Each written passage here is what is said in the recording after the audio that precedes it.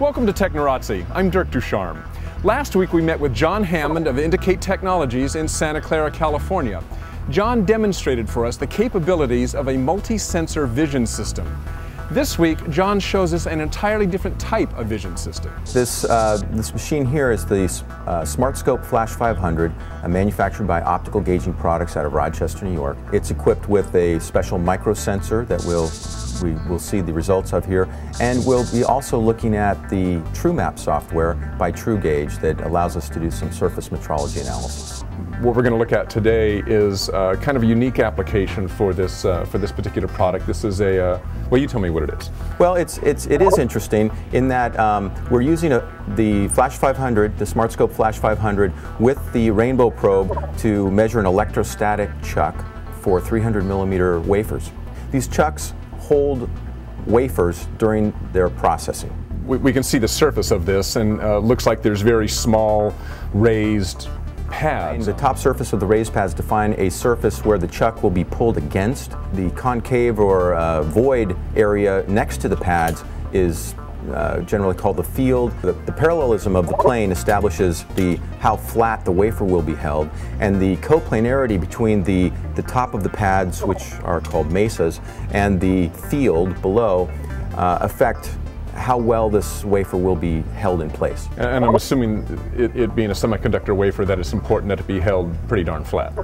The flatter the better. This uh, particular application is for a local uh, customer here who is uh, in the business of manufacturing uh, electrostatic chucks as well as uh, reworking electrostatic chucks that have been out in the field. The task at hand is actually during the rework process. And the idea is to know where the chuck is from a flatness and coplanarity when it comes in, do the rework process, and then re-verify it on the way going out before it, uh, before it's shipped. Well, step us through it. Let's see what we got. Okay. The Uh, instrument itself over here with the, the electrostatic chuck is set up on blocks. We use the vision system to locate the exterior of the chuck and so that our scans with the Rainbow probe are done in a precise location. And then the, the Rainbow probe does a series of concentric circles, scanning, collecting a series of points, in this case hundreds of thousands of data points across that chuck surface. And once that's accomplished, we, we have taken the data into another software package, which is, in this case, TrueMap uh, by TrueGage.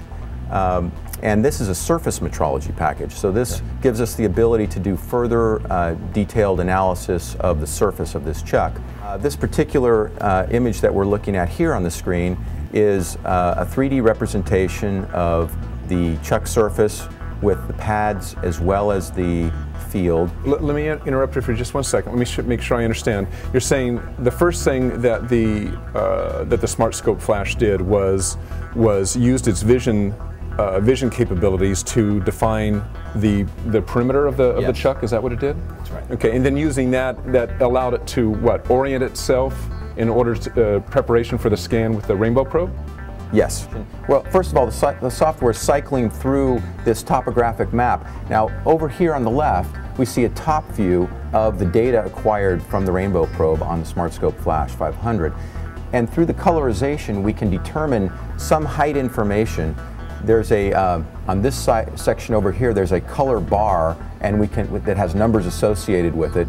In this case, from positive 6 microns down to negative 28 microns. So that's the range of surface data okay. across this chuck, including the top surface of the mesa as well as the bottom surface of the field. So it looks like we have like a little hump. Yes, we do. Okay. We have kind of a saddle effect or a potato chipping of this, the top of this chuck.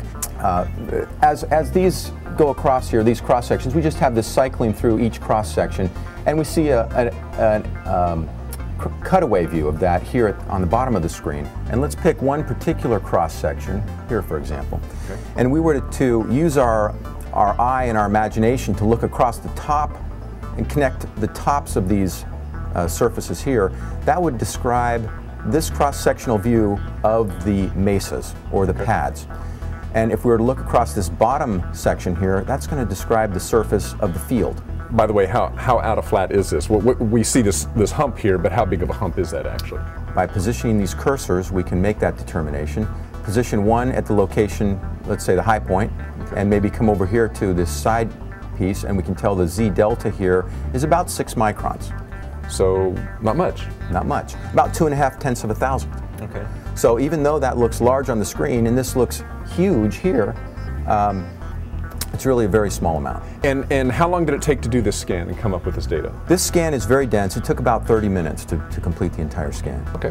Well, that's that's a very interesting application. Okay. Thanks a lot. You're welcome. Three, two,